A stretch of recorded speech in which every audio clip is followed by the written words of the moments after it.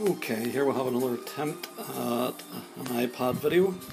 This one is for GMT's 30 Years War, Europe in Agony, which, despite being a game from 2001, I only just got the other day from a chat in Spain. And as you can probably see, it's in absolutely mint condition. I was very pleased despite the very heavy 20 euro postage. Uh, there's a brief look at the cards. Um, they're sitting on little things I printed off, uh, I think it was Board Game Geek just separate the decks out nicely. Uh, decks are divided into early war, intervention, and then apocalypse. Um, oops, pardon my skills here. As you can see, the turn and general records track. I'm only on turn two, which is 1623 or 22 to 23. Um, a couple of queries in the game I had. I've asked in Board Game Geek mainly one I was a bit um, confused by the foraging. It's easy enough to place the pillage markers, which is a nice effect in the game, very 30s years war. But I wasn't sure where you rolled for them in the movement phase or at the end of the phase, but apparently it's done in the looting phase, which is straightforward enough. Another one I'm quite confused by is Spinola has a Siege of Breda card once he's in the United Provinces, i.e. Holland. Um, not very clear in the rules whether this is conducted as a normal siege. It would appear to be simply because the back of the siege counter has Breda fallen and the Protestant um, have a recovered Breda, so one assumes it's done like that. However, since Breda and another one, um, I can't remember the name of the other one, it begins with B as well, are both card effects. Um, they're not actually cities on the map because United Provinces is a sort of special section of The Dutch don't actually take part in the war, they really just provide money to the Protestants. Uh, key things that happened early in the game. Uh, down in Bavaria, Tilly moved against Mansfeld, uh, actually in Bohemia at that time. And Tilly and his compatriot both died, been replaced by lesser counters. Um, Mansfeld has invested in Ingolstadt. He's had a couple of goals of the season. Hasn't managed to. Did take a step loss. This turn Wallenstein has just appeared. I'm not sure if I can zoom in on him. It's not very clear there. But that is him at the top of that stack.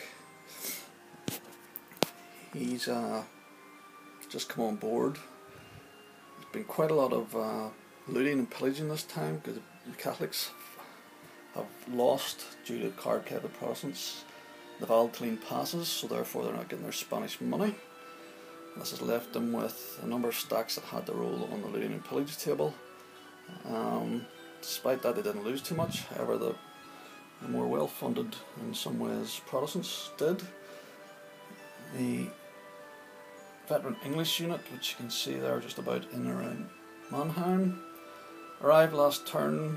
Um, wasn't able to be paid, managed to roll for a level 2 pillage and a step loss, so not good for them. Still a number of neutrals on the board. VPs are supposed in favour of Protestants, we're on at 8, although it's quite early in the game. Quite a nice things in it, France is in it. Again, they're sort of special case, you can't really enter France, but the French can enter there. Provide a lot of gold for the Protestant cause.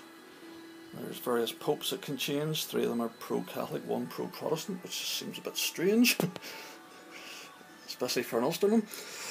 Um, the Danes, Christian, has just come into the game last turn. He, uh, they can't recruit, so there's just the four steps once they go. A nice feature of the game is that you can recruit new units at either half or full strength, but you can't build up units that are already on. So once they're gone to half strength, that's them, and once they're out of the game, as in these chappies here, they're out of the game. The green ones, which are a bit fuzzy again in the video, were Bethlen Geburtsblatt in Hungary, which um, Imperialists came over, mugged him twice, took over Hungary, uh, killed him, which takes the Hungarians out of the game. So not great for the Protestants in the initial turn, however, say with the loss of Tilly and Werth, I think it was, uh, or maybe it was Mercy, but both two good commanders that has put a crimp in the Bavarian Catholic League.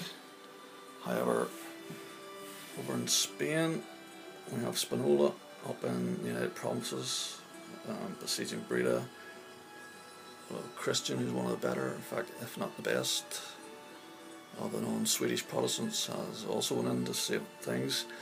And Cordoba has arrived in Spanish Netherlands with a fairly sizable force.